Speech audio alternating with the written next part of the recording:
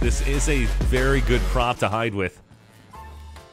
I'm not gonna lie. Uh, it's very thin. It's very hard to see this prop here. So as, as I'm running away, I can do a really good job of hiding this prop. Let's see how we can actually hide. Thank you so much.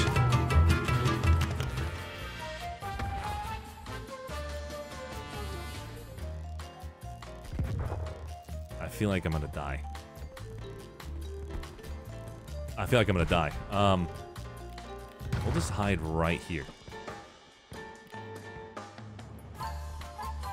This is actually not a bad hiding spot. I'm not gonna lie. We'll hide on this one.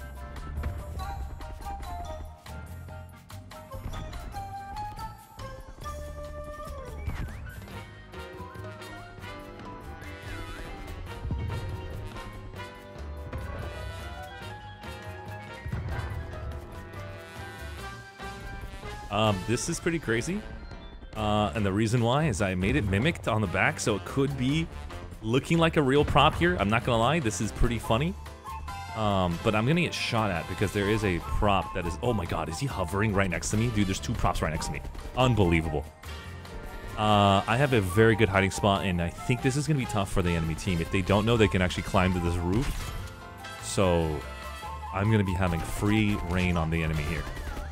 Especially since this is a very skinny prop, very thin prop if I'm actually running away from them. The hitbox is very small when you're running away. Oh shit. Oh shit. Oh my god, it actually worked. Oh my god. Oh my god. He didn't see me. He didn't see me. He thinks this is like an actual prop on the back. Did you see that, guys? Incredible hiding position here tonight.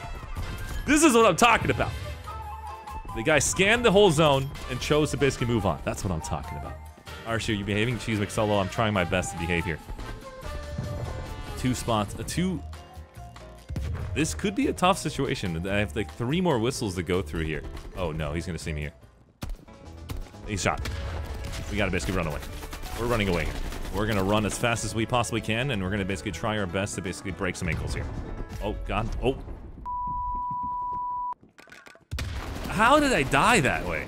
Is it just crazy? These guys are just on point.